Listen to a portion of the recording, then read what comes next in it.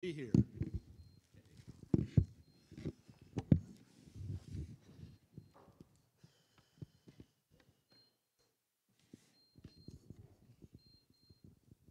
Okay, you'll know I'm getting ready to start when I say, Is this on?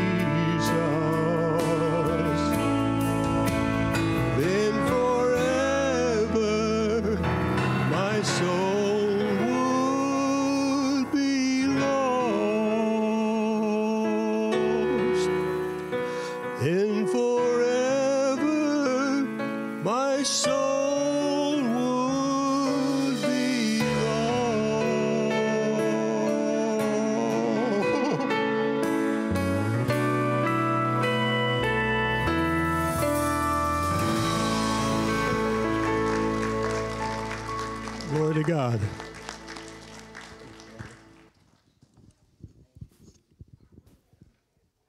Thank you, Brother Rodney. God bless you, and what a blessing, and what a great old hymn. Amen. If it had not been for a man named Jesus. The other song we sang just before Rodney sang was Because He Lives, I Can Face Tomorrow. I don't know about you, but certain songs bring back certain memories.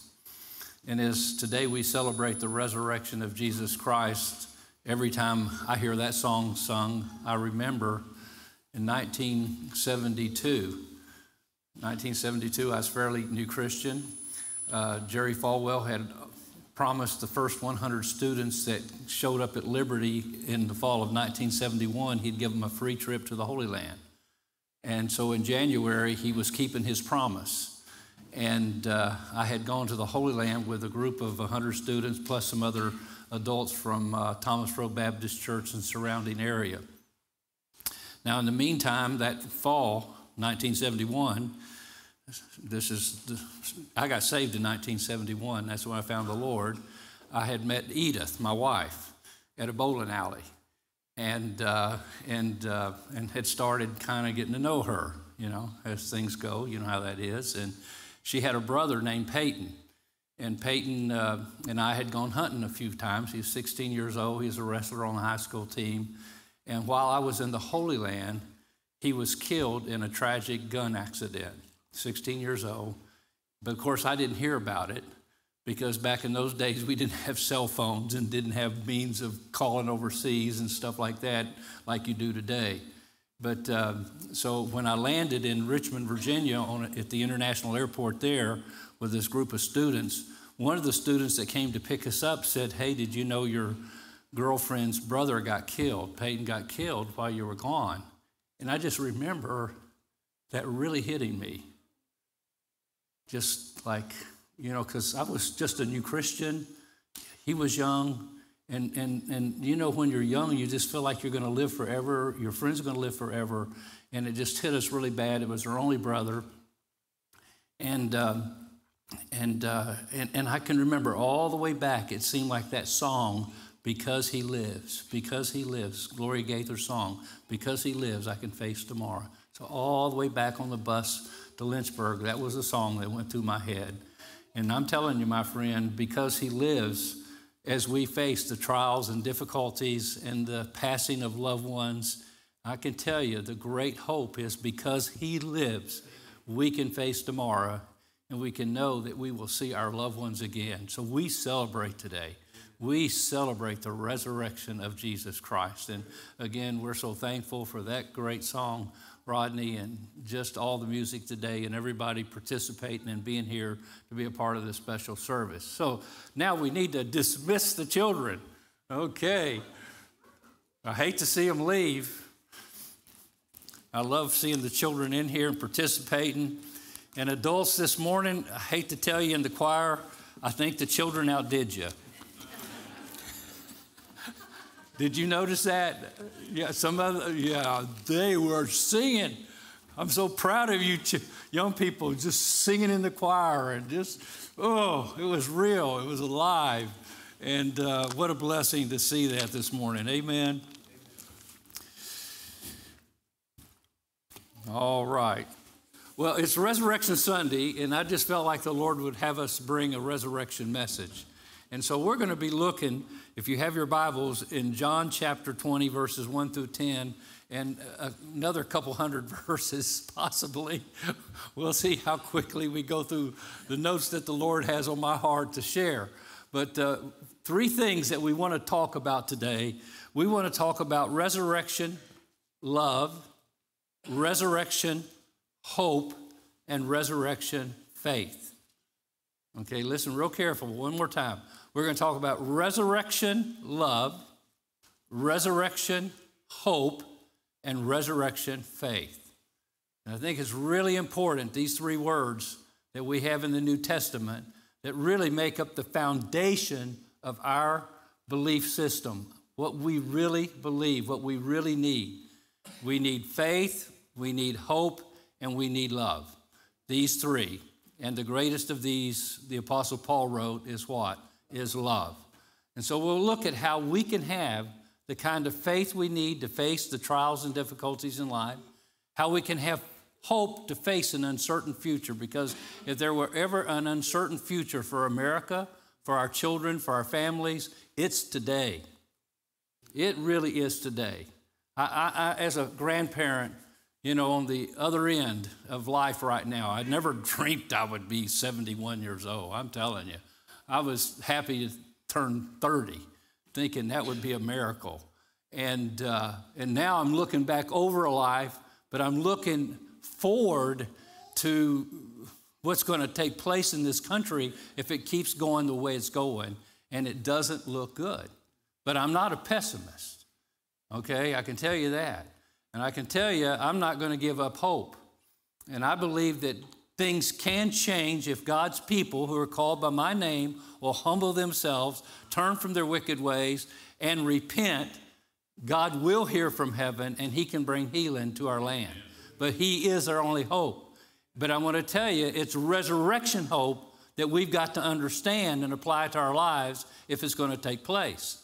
It's going to take place. But also, we're going to talk about resurrection love. Because if there's one thing the world really needs, it's the love of God that's found in the resurrection of Jesus Christ. Because if Christ be not risen, our faith, our faith is empty. It has no meaning, and we need to sell this building and we need to just go out and do whatever. Okay? But I'm telling you, because He is risen, we can live a life that God can live through us because He's a risen Savior. He's alive and He's alive in us. Christ in you, the hope of glory. It's not our life, but it's Christ's life that can be lived through us because He indeed is risen. Amen? And that will make all the difference in the world. Now, in the sunrise service, we did something, we got to do it again. But uh, just remembering it's Resurrection Sunday, He is risen. Okay, some of you got it now, okay? Those people that said that were in the sunrise service, okay? Which was a handful of us, but it was enough to have a service for two or three are gathered together in my name. Amen? So let's do it again. He is risen. He is risen indeed. Oh, that's better. One more time. He is risen. He is risen indeed. Amen.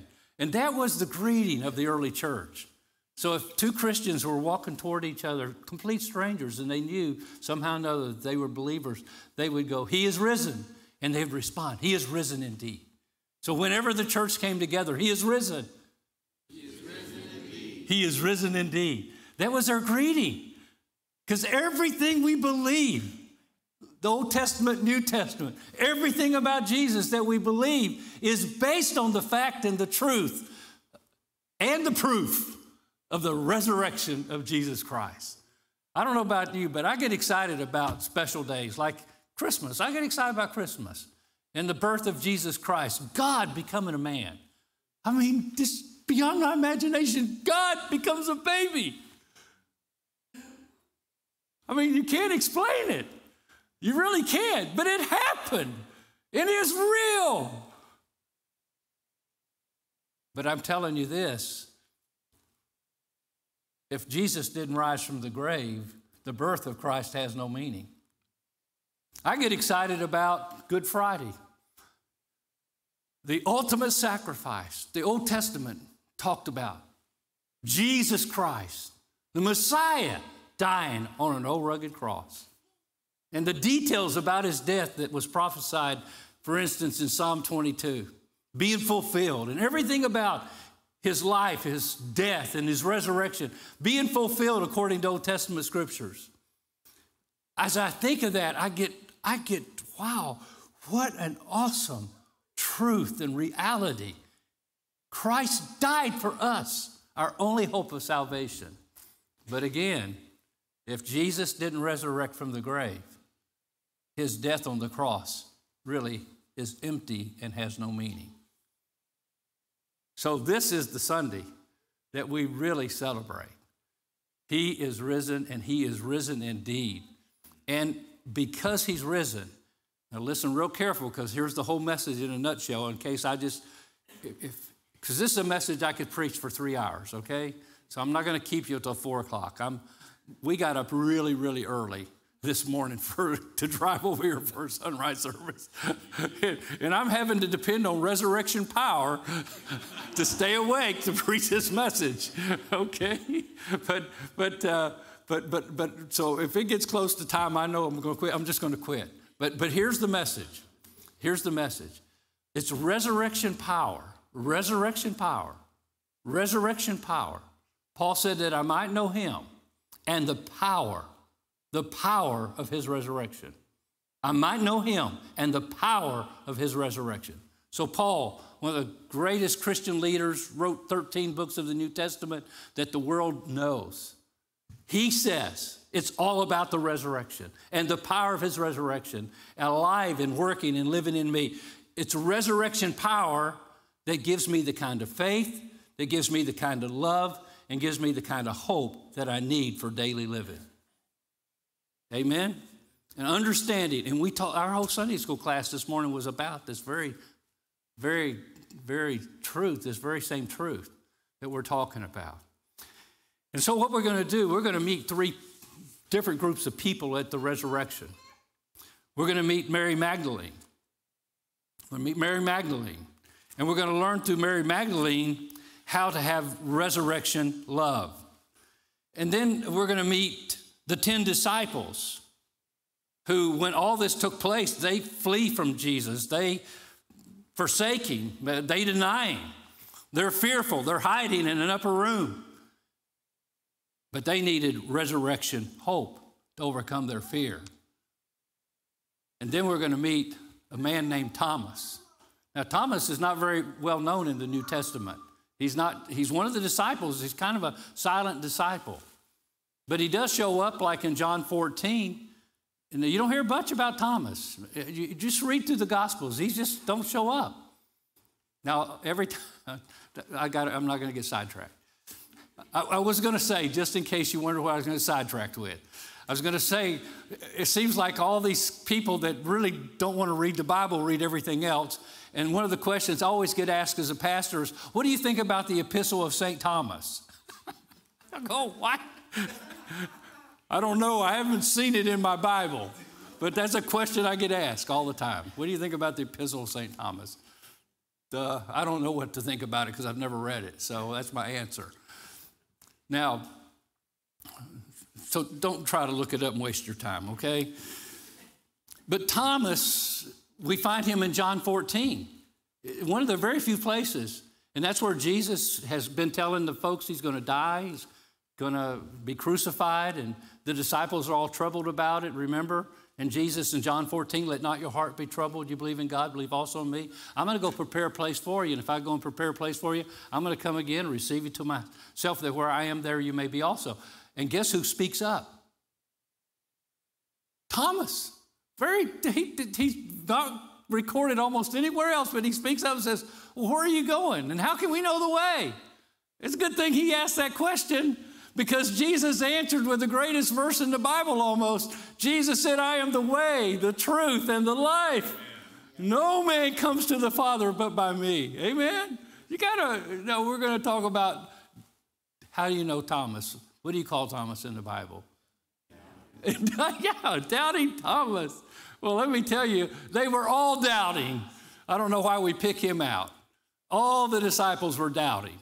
And Jesus had to talk to them about that. But how do you overcome your doubt and have assurance and have faith? Resurrection power will give you the faith to believe that God is God and He can do anything on your behalf for His glory. Amen? So, are you with me? Okay, for, so, so you got the whole message in a nutshell. So, we'll go back and fill in some blanks and and, uh, but let's read John chapter 20. Now, the first day of the week, Mary Magdalene came to the tomb early while it was still dark and saw that the stone had been taken away from the tomb. So she ran and went to Simon Peter and the other disciple, the one whom Jesus loved. And by the way, when you're reading the Gospel of John and John talks about the disciple whom Jesus loved, you know who he's talking about? Himself.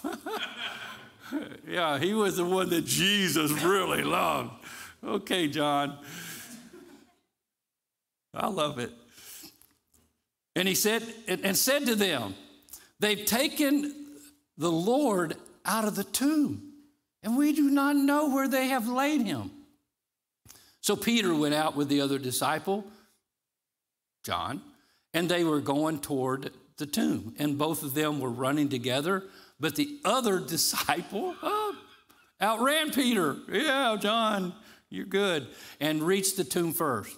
And stooping in, he saw the linen cloths laying there, but did not go in. Then Simon Peter came, followed him, and went into the tomb. And he saw the linen cloths lying there. and the face cloth which had been on Jesus' head, not lined with the linen cloths, but folded up in a place by itself. Then the other disciple, John, who had reached the tomb first, also went in, and he saw and believed. For as yet they did not understand the scripture that he must rise from the dead. Then the disciples went back to their homes.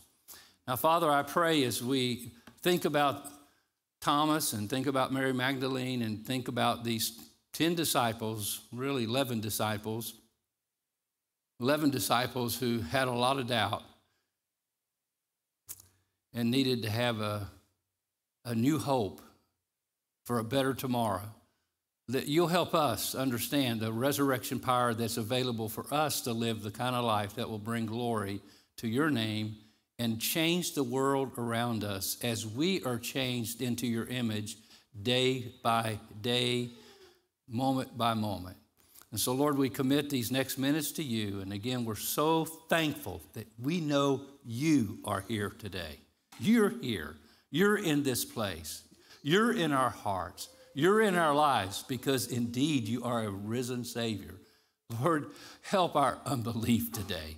Open our eyes to see the risen Lord Jesus Christ. And we ask this in Jesus' name. And God's people say, Amen. So now faith, hope, and love abide, Paul said in 1 Corinthians 13 13. These three, but the greatest of these is love. Now, Jesus, as you know, and I've said it already, had been telling his disciples over and again that he was going to be crucified and rise again the third day. Like Matthew 16 21, from that time Jesus began to show his disciples he must go to Jerusalem and suffer many things from the elders, the chief priests, and scribes, and be killed, and on the third day be raised. Then the next chapter, 17 of Matthew 22 and 23. And as they were gathering in Galilee, Jesus said to them, The Son of Man is about to be delivered into the hands of men, and they will kill him, and he'll be raised the third day. And they were greatly distressed. Then in chapter 20, Matthew 17 through 19. And as Jesus was going up to Jerusalem, he took the 12 disciples aside, and on the way he said to them, See, we're going up to Jerusalem, and the Son of Man will be delivered over to the chief priests and scribes. They will condemn him to death. They'll deliver him over to the Gentiles to be mocked and flogged and crucified, and he will be raised on the third day. And then in Matthew 26, again, verses 31 and 32, then Jesus said to them, you will all fall away because of me this night, for it is written, I'll strike the shepherd, and the sheep of the flock will be scattered. But after I am raised up, I'll go before you into Galilee. Did you hear how many times? Just in Matthew's gospel. There might have been other times. But Jesus, over and again, told them, I'm going to be crucified. I'm going to die. I'm going to be flogged. And then on the third day, I'm going to rise again. Now, these were his disciples that were watching him raise the dead, give sight to the blind, walk on water, feed 5,000 people with a few fish and loaves of bread. And they hear him say this, and yet somehow or another, it's kind of like going in one ear out the other. It's going over their head, and they're not comprehending exactly what is going to happen. It was after his resurrection after his resurrection. And for those 40 days after his resurrection, that he, Acts chapter 1, after his passion, he appeared to them for 40 days and given them infallible proofs that he indeed was risen. And we'll read about some of those in our message. Now, for Mary Magdalene, the resurrection for her meant moving from tears to joy with resurrection love. For the 10 disciples, it meant going from fear to courage, resurrection hope. And for Thomas, it meant moving from doubt to assurance, resurrection faith. Mary, love, the 10, the emphasis on hope, and with Thomas, the emphasis is on faith. Now, who is Mary Magdalene? Well, she is, if you, if you want to study an interesting person in the New Testament, study Mary Magdalene. This lady gets mentioned often, like in Luke chapter 8, verse 2. Also, some of the women who had been healed of evil spirits and infirmities, Mary called Magdalene, from whom seven demons had gone out. So she is known as someone who had seven different demons living inside of her that Jesus has to cast out. She's from a place called Magdala. Matter of fact, Dennis, we drove by Magdala, if you remember, and it's off to the right hand side, going back from Capernaum back to Tiberias on the Sea of Galilee. Today it's just still a small place. It was a village. They say it's a wealthy village, and probably she came maybe from a wealthy home. It was a wealthy community. And, um, and there were some primitive textile factories there that added to the wealth of the community. And, uh, and so but anyway, Mary Magdalene is mentioned at least 14 times in the Gospels. 14 times. And we learn a lot about her from those passages. Now, something that's also interesting is in eight of the 14 passages, Mary is named in connection with other women, and she always heads the list. Isn't that interesting? So she's mentioned eight times out of the 11 with other women, and she heads the list, which implies that she is in front in service with these other godly females. Now, five times where she's mentioned alone, the connection is with the death and the resurrection of Jesus Christ. And we just read some of those. So, five times when she's mentioned alone, she is the first person human being to see the resurrected Jesus. Somehow God chose a lady out of whom seven demons are cast out to be the one who would see and have the evidence of a resurrected Savior. I mean, what an awesome God. Man, it just shows you how much God must love us. Now, sometimes love, I love this quote misplaced and guilty love has destroyed many a woman, sometimes leading to insanity, sometimes to suicide. And sometimes women do become victims of insanity by inheritance, someone wrote. But whatever weakness it was that Mary may have had, making it easy for the demons to enter her, we do not know.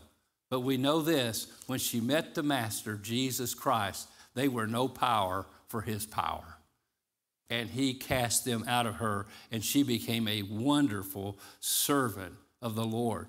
Now, I don't have time to read it, but if you read John chapter 20, the next verses that follow the verses that we just read, verse 11 through 18, speaks of Mary weeping outside the tomb. She sees two angels. She stays and she talks with them, and then she meets the risen Lord Jesus Christ. And she runs back and tells the disciples, I have seen the Lord, that he, and that he had said these things to her. Wonderful passage of scripture. So, resurrection love, how does it affect us, and how do we learn from her life? Remember, Mary Magdalene was probably a single lady. We have no record of her having a husband. She was a follower of Jesus. And in a sense, it appears, because she always shows up, that she left everything to follow Jesus. Follow Jesus. She was possibly a very beautiful woman. People liked her for her money, her good looks, for her position.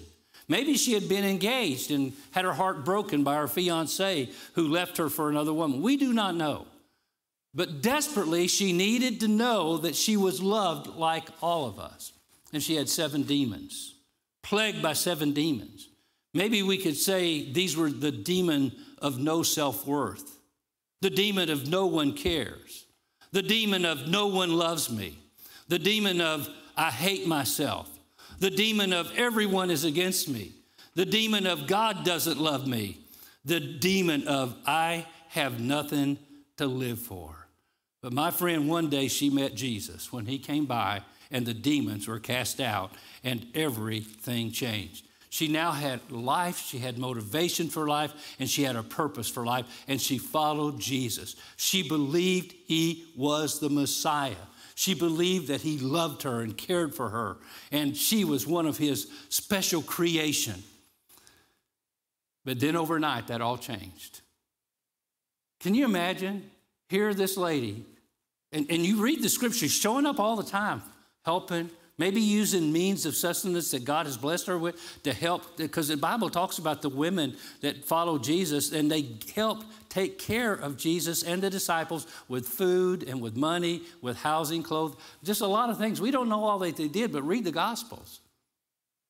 There are some women of means that were available, and God just had them prepared to help take care of Jesus and the disciples while they were doing ministry for that three and a half years.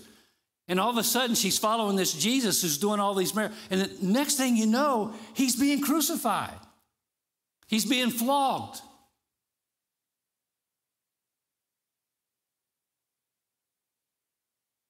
She watched the beatings, the mockings, the scourging, and the crucifixion.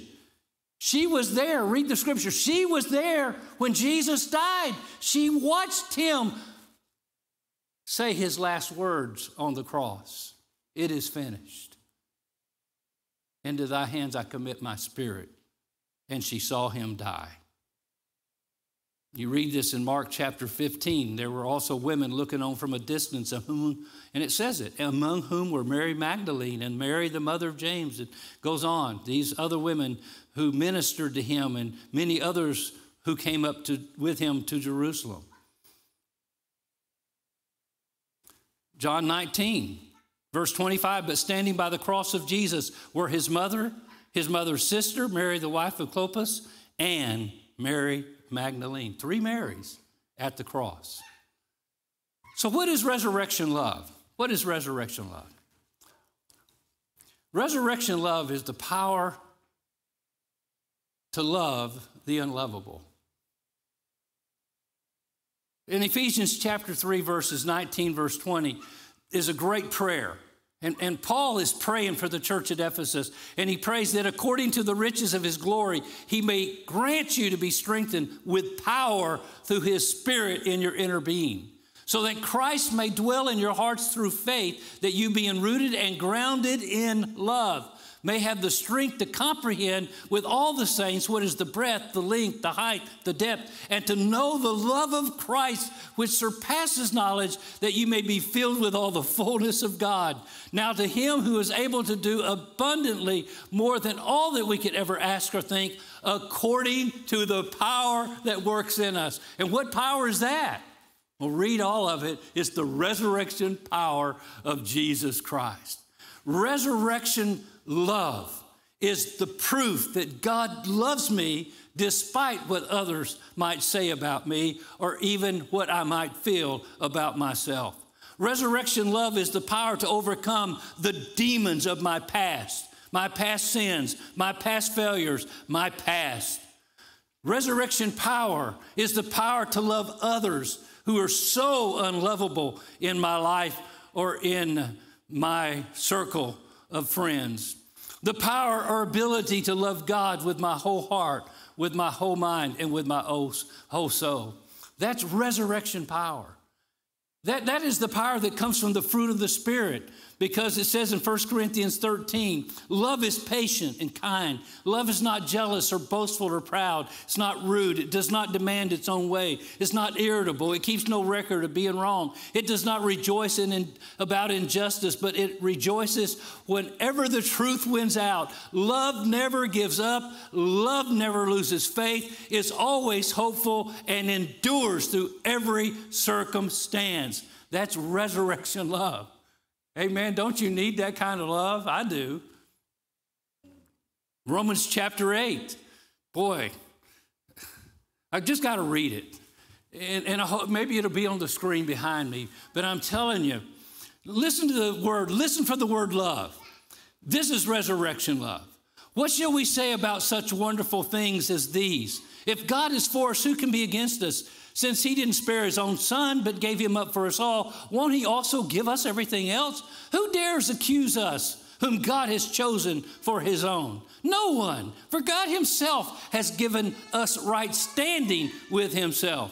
Who then will condemn us? No one, for Christ Jesus died for us and was raised to life for us, and he is sitting in the place of honor at, the, at God's right hand, pleading for us.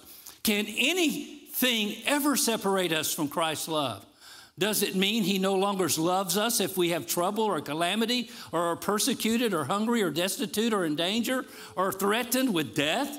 As the scripture says, for your sake we're killed every day, we're counted as sheep for the slaughter. No, no, despite all these things, overwhelming victory is ours through Christ who loved us. And I'm convinced that nothing can ever separate us from God's love. Neither death nor life, neither angels or demons, neither our fears for today, our worries about tomorrow, not even the powers of hell can separate us from God's love. No power in the sky above or in the earth below. Indeed, nothing in all creation will ever be able to separate us from the love of God that's revealed in Christ Jesus our Lord. That's resurrection love. Amen. Amen. Aren't you thankful for that today? God loves you with a love that's beyond your imagination, and He proved it with His resurrection of His Son, Jesus Christ.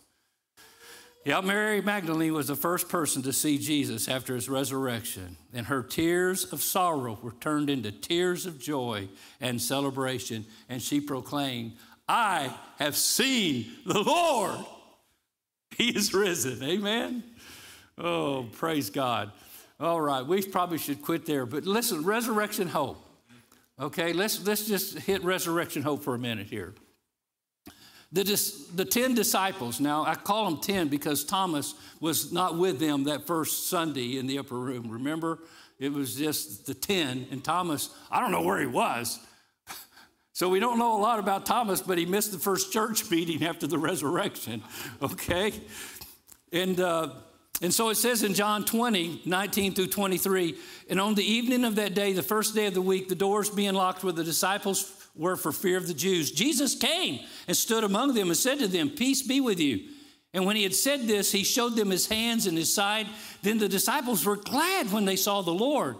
Jesus said to them again, Peace be with you. As the Father has sent me, even so I'm sending you. And when he had said this, he breathed on them and said to them, Receive the Holy Spirit. Receive the Holy Spirit. So, how did the Lord transform his disciples' fear into hope and into courage. How did he do it? Here's how he did it. He came to them. He came where they was. That's what it says. It says Jesus came and stood among them. Now, how did he come? It's kind of miraculous, to be honest with you. The doors were locked. Now, he had a body because he could say, Touch me. He sat down and ate with them. And it wasn't an invisible body. You wonder, I wonder where that food went that he ate. I don't, you don't have to figure that out. You don't need to. But he did eat with them. He had a body. It was a real body. I'm telling you, the cults out there try to tell you Jesus only rose spiritually. I'm telling you, Jesus rose from the grave in a physical body. And he's in a physical body right now, seated at the right hand of the Father in heaven. Amen? That's what the scripture teaches. Now, Jesus shows up because even though he still has a body, he has a body like no other person on planet Earth has. He can go through closed doors. That's miraculous. Did you know how, you know where Jesus dwells now? Surely he's seated at the right hand of the Father, but he also dwells in you and me right now. You, know how we get saved? Jesus comes to where we are. You know how we have hope and courage in the midst of trials? Jesus shows up. Remember Shadrach, Meshach, and Abednego in their fire? Yeah, remember that? And when they looked in there, they didn't see three Hebrew boys, they saw four people in there, and the fourth was who? Like the Son of God. Jesus was there. Don't you like that? How do you get courage? You know Jesus is with you. You know He's with you. I can tell you, I'm the I, am just my personal testimony. I grew up being a very fearful kid. When I was growing up in Texas, they called me Little Groomsy. My dad was a preacher. Everybody picked on me. Everybody beat up on me. I got, I mean, I just, I was fearful. I didn't fight, I ran. I was not a fighter. Now, my brother was just the opposite. He would pick a fight and love fighting with somebody, but not me. Matter of fact, when he would fight with me, the only way we could The only way I could stop the fight was either kill him or knock him out or run until he cooled off. And usually I just ran because I didn't like the options of knocking him out or killing him. And, and, and but I'm fearful. I, I didn't want to be a preacher because I don't want to get up in front of people. You don't know how I still struggle after being a pastor for almost 50 years to get up in front of people and talk. Yeah. It's a struggle for me. But how do I do it? How do I go on a mission trip and do anything that God asks us to do? I just believe that He is with me. He promised never to leave me nor forsake me. He came to where they were. And then you know what he did? What did he did? He spoke peace to them. Twice. Peace be to you. Peace be to you. Peace be to you. Boy, that's what we want. Peace is that confidence that everything's okay. That's what it is. Peace, you're not at war. Peace. You're not at war with God. You're not at war with yourself. You're not at war with anybody. When you have the peace of God that dwells in your heart and lives in your heart and rules in your heart, you don't have to worry. No worry, because it's all on Him and He takes care of it for you. He talks peace to them. Twice He says peace to you. And then you know what He did? He breathed on them. Now you think about that. He breathed on them. You know, when God breathed in Genesis chapter 1, you know what happened? And God said I mean, God breathed. You know what He did? He spoke. You can't speak without breathing. You breathe out. And when God spoke his breath, guess what it did? It created the universe and created you and me. That's the breath of God. You, you know what this Bible is? It's the breath of God. All scripture is given by inspiration. That word is the breath of God. It's the God breathed word. Amen. This is a miracle book. This is a holy book. It's God's holy word. Amen. And he breathed on them. And you know what he breathed on them, it says? And he said, Receive the Holy Spirit. Now, what happened was on the day of Pentecost, the Holy Spirit came down and indwelt them. And the Holy Spirit indwells you and me. How do we have resurrection hope? I tell you how we have it. We believe that Jesus is with us and he's going to take care of everything. We believe that the Holy Spirit of the living God lives within us.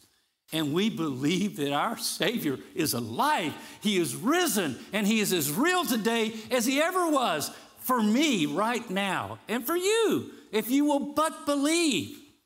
Now, Jesus, I don't have time to talk about it, but you can go through all the verses. When he got to these disciples in that upper, they, they are struggling with believing. He has to them because of their unbelief. Even after the two guys from uh, the road to Emmaus, they were in the upper room. They come back. Peter, he's appeared to Peter. He's appeared to the ladies, and they've come back and told these disciples, He is risen. We've seen him. We've touched him. And guess what? They still didn't believe. So don't feel bad if you don't believe. Too bad. Feel a little bad. Okay? Because you need to believe. And you know what? After 40 days, and he ascended to heaven, and the Holy Spirit came to indwell them, they believed. And they changed the world. They changed the world. Now, one last thing resurrection hope. How about resurrection faith? How about old Thomas? We call him Doubting Thomas, but honestly, he just didn't show up the first Sunday. And remember what he said when he did finally show up? He said, I don't believe. Unless I can see the nail prints in his hands, you know, and the spear in his side, when I say I'll believe. So he missed the first Sunday, but he showed up the next week, the Gospels tell us. And when he showed up the next week, Jesus showed up again. By the way, that's a good reason to show up for church.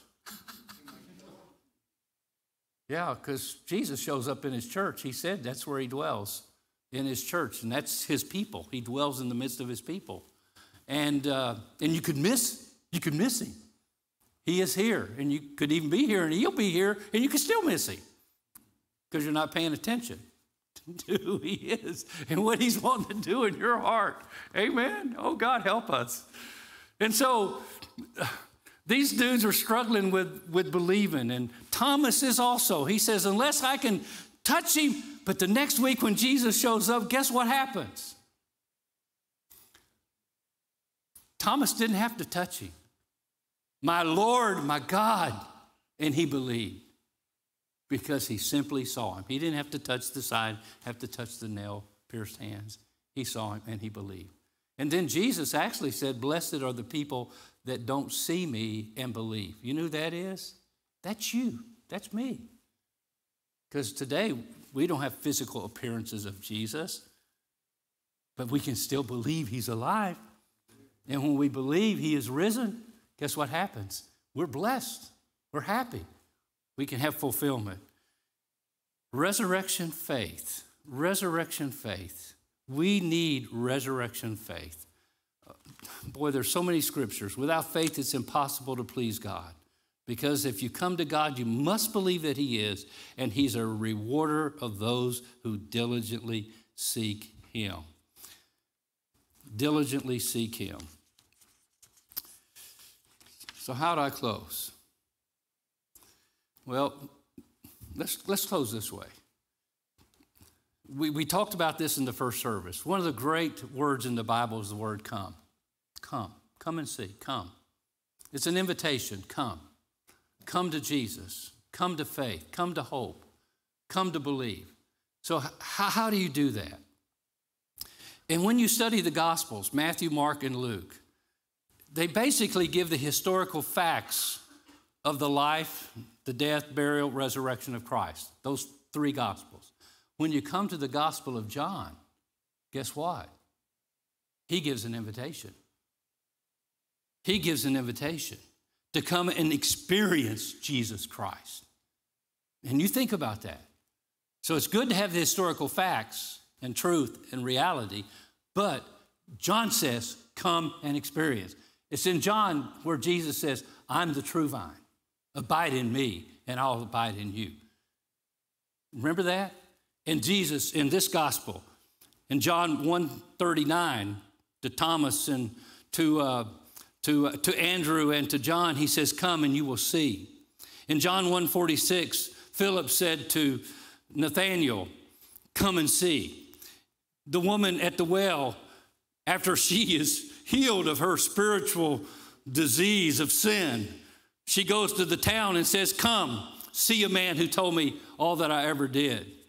Jesus said to the Pharisees and the religious crowd, You refuse to come to me that you might have life. In John 6 37, Jesus said, All that the Father gives me will come to me, and whoever comes to me, I will never cast out. And then John 7 37, on the last day of the feast, that great day, Jesus stood up and cried out, If anyone thirsts, let him come and drink. And then the last invitation in John 21, when Jesus with the disciples at the Sea of Galilee, he said to them, Come and have breakfast. And none of his disciples dare ask him, Who are you? because they knew it was the Lord. So today, the question is Will you come? Will you come to the resurrected Savior? Will you experience the resurrection power of Jesus Christ? For Mary is resurrection love. For the 10 disciples is resurrection hope. For Thomas, it was resurrection faith. They're all available in the resurrection power of the Lord Jesus Christ for a living a life that can make a difference. And my friends, I'm telling you, these are desperate, desperate, desperate days. These are desperate days. We must have believers that are going to live that life that Paul talked about the crucified life, the exchanged life the life filled with the Spirit of the living God, the power of the Holy Spirit in us to do what God wants us to do every moment of every day, where our lives really reveal to the world around us who God really is. The world proclaims, Your God is dead, and we have nothing to answer.